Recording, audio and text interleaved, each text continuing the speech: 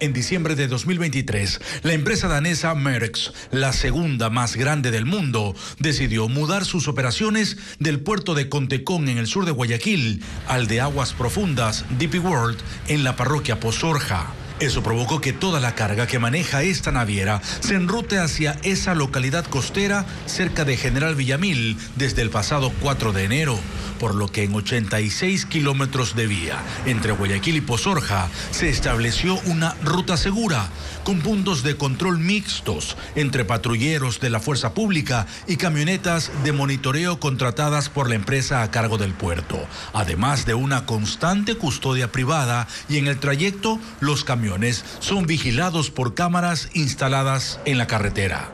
Según la Comisión de Tránsito del Ecuador, el flujo vehicular de transporte pesado aumentó desde enero pasado. Pasó de 1.500 trailers semanales a 3.000 en esta ruta. El mayor movimiento se da los días martes, miércoles y jueves.